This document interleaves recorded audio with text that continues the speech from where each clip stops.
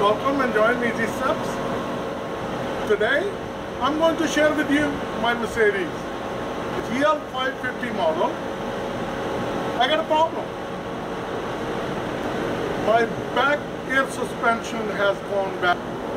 This is how the expansion looks in the front. If you see a lot of gapping. And if we look at on the rear, it's totally flattened. Having issues with the GL 550. This is the left side and this is right side. And this is how the front looks. See, if we look at the front, it's a big gap. And if we go on the back, see at this moment, if you look at, we have a nice gap. So it's working. So this was uh, happening for uh, last couple of weeks. Now if you see that uh, air suspension is going up again, the bag is filling up.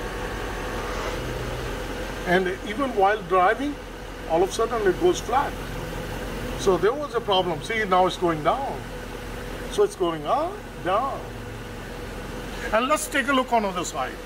If we look it on this side, so if we're looking on this side, it also does the same thing. It's going up and down shut off the engine and if you look at now, it's only two fingers left. This side bag gone flat right away. And on other side, if we look at, still we have a big gap. So, and this is the tubing. This is called uh, Mercedes-Benz original. It's a line cable. So this is the one we're going to replace it. The air suspension bags these are the new bags. So these we're going to replace it. And that part I'm going to share with you that uh, it's an easy DIY process and uh, I'll, let's see how we fix it. Once I'm going to fully jack up, then I'm going to put the dead jacks underneath. Then I'm going to pull out this jack so we have enough room to go down. Once we open the trunk, lift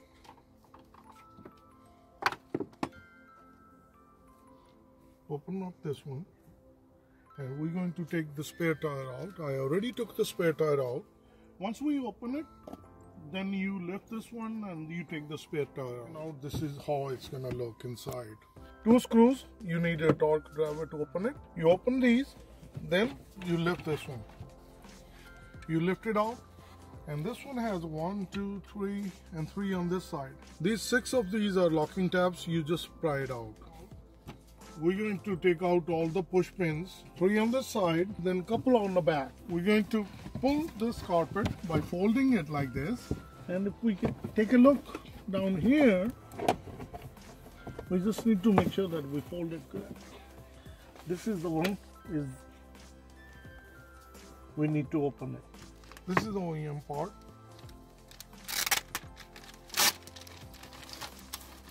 So we're going to get a plier, put it right in the middle, then we're going to open it.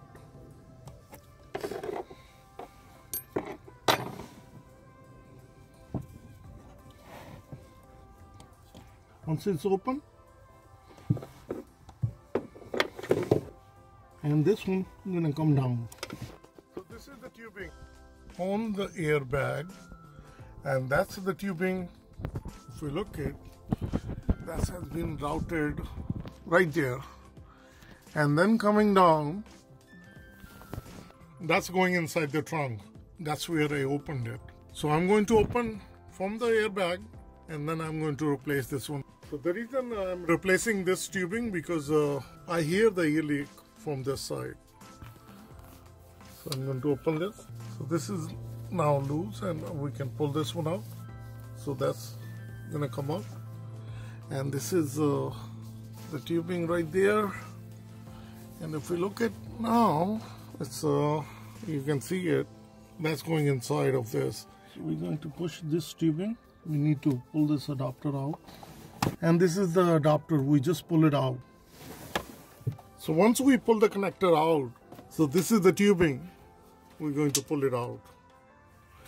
So that's gonna come out just like that and this side we already pulled it out So we are pulling these out just like this.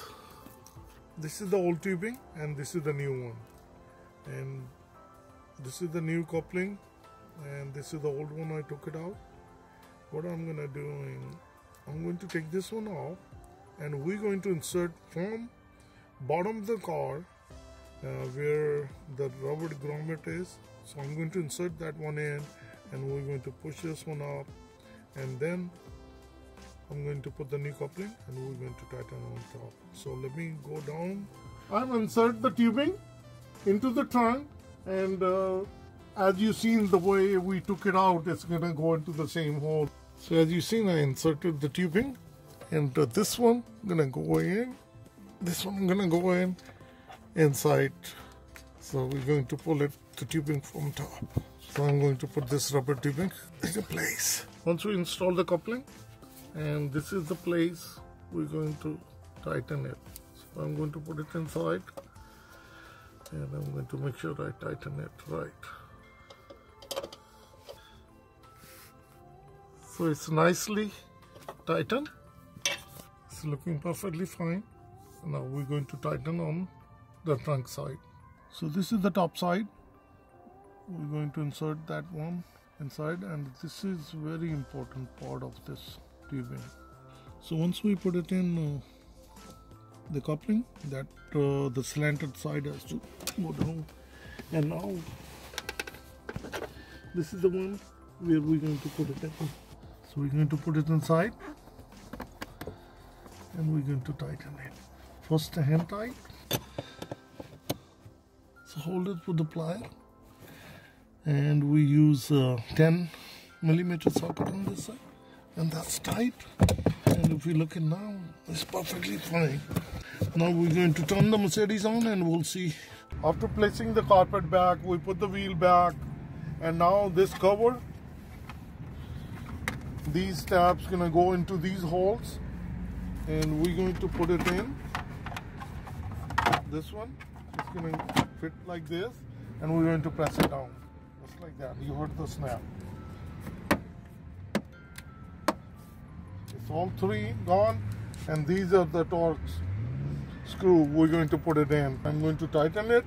That's all it's easy. If we look at now very big gap. The leak is on my air suspension has been fixed and I drove uh, 200 miles. I waited a whole day. I let it sit for the last night and it was filled in it did not go down. And now after driving 200 miles still going good. That's how it's easy to fix our air suspension leak. It's not that your airbags has gone bad. It could be the tubing as I showed you it's an easy fix. So I hope this video will help you out and motivate you. To do DIY work yourself and able to fix it. So if you like this video to be helpful, please like, share and subscribe Easy Thank you and have a good day. Bye bye.